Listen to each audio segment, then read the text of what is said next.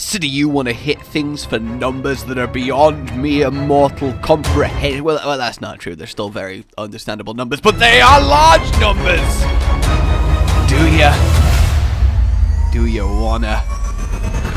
Whoa! Before we go and show the biggest hit, we're only 20 seconds in. We don't want to climax already. Don't skip ahead. I've already lost half the people watching this. But for everyone else, this is my uh, great sword quest to get the highest hit possible. And indeed, the true charge slash is capable of the highest single number in the game. So really, it's a match made in heaven. Question one then, what sword to use to help contribute towards this almost 2k displayed attack? So I do want to point out that I mean this to be a solo hunter challenge. Which is to say, no Palico help or no teammate help either, so no Coral Orchestra and no hunting horn shenanigans. Though, that said, that doesn't matter either way, because all three hunting horn players were in fact busy when I chose to do this. I'm using the uh, Nergigante Great Sword because it's really solid. 1008 Raw is got some mmm to it, but technically speaking, the Barroth would be better. However, it's only better if I had three attack augments for it, because that coupled with an Elementalist Jewel gives you your highest Raw to work with, and then you keep trying till you crit anyway, so the negative affinity doesn't matter too much. It's just, you know, for that I need, I need RNGesus to, uh, to bless me a little bit more. So until that happens... I am stuck Nergiganteing, but it does give a lot of potential for a record-breaking attempt in the future. Armor skills wise, there are three that will give you a critical boost to your damage. One of them is critical boost, and taking your already 25% increased hit to 40, yeah, that is sizable when we're working with the numbers that we're working with. However, it's difficult to get hold of level 3 without compromising on a more important skill, because you can only get this from a helmet, from some gloves, jewels, which of course I don't have it, let's not be crazy, and a charm. So, ah, it's so annoying. You do obviously want Fortify. You're going to deliberately cart twice, 20% more attack. Yeah, that's nice. But then the star of the show is Heroics. 30% more attack power, which is then multiplied by the crit when you're lower than 35% health. It's it's pretty it's pretty noticeable. And normally you need uh, to give less fucks than a Savage Deviljho in order to pull this off, but we're hitting a sleeping monster, which kind makes the name of the skill a little bit ironic in this instance. You think you've got me beaten. You think I'm weary, worn down, and out of strength. Well, I'll tell you this, my arch nemesis, my greatest foe. I will keep getting back up. I will stand, and I will fight until the last breath leaves this body. Ah!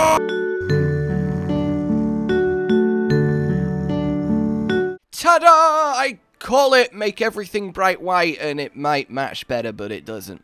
This out of everything that I currently have, jewel-wise especially, is by far and away the best armor set that at least I can come up with to make this number pop. So, we have ourselves all five heroics, from Black Diablos legs and normal Diablos arms, coupled with a charm, and the one heroics jewel that I have. It's a level 2 rare 7 jewel, so they don't exactly drop like candy.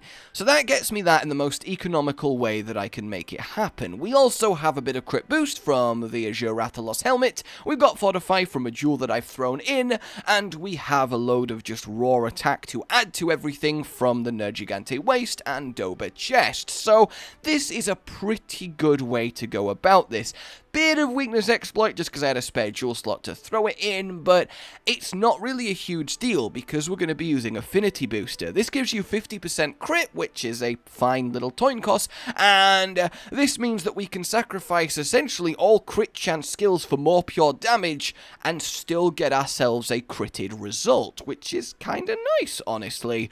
So without further ado, let's actually get in the hunt and make this happen. So now we're on the hunt, you may be wondering why is our target for this a Bazelgeuse? Well, apart from pure catharsis, as let's be honest, if we're gonna hit anyone this hard, it really should be Mr. B52. He, quite simply, from all my testing, takes the most damage from my attacks. He's surprisingly squishy.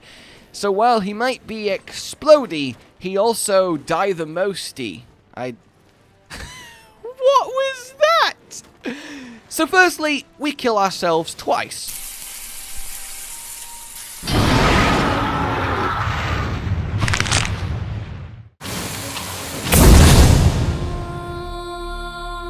My work here is done. Cool. Then we get ourselves attack up large from the canteen.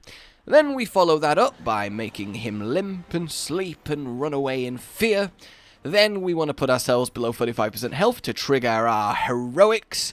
Then finally we want to pop a might pill, mega demon drug, and a bit of attack powder for around 40 more true raw damage, and then the affinity booster to get our hefty crit chance. And then, well then it's time to let it fly.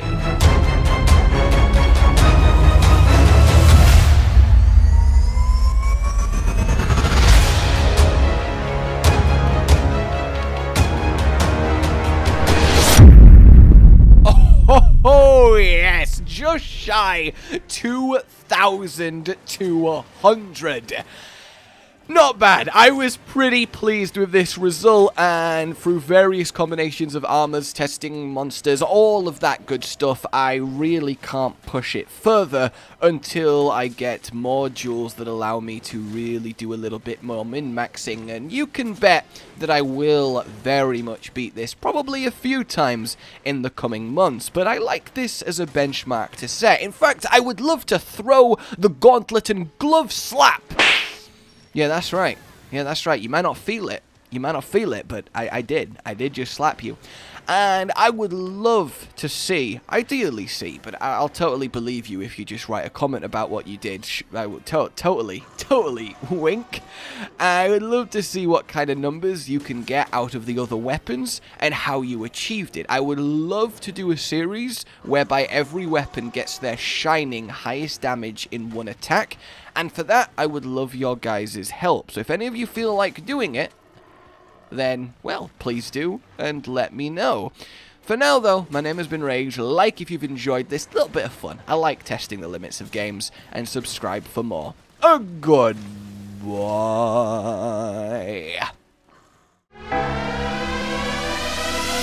Rage gaming with the video float. But that's all that's really relevant at the mo, but I'm still gonna leave this up so you patrons know that I love you even though the outro's no longer that kinda relevant. But the new one's being worked on and it's gonna be a truly badass song, and don't worry, I won't be doing any rapping on it.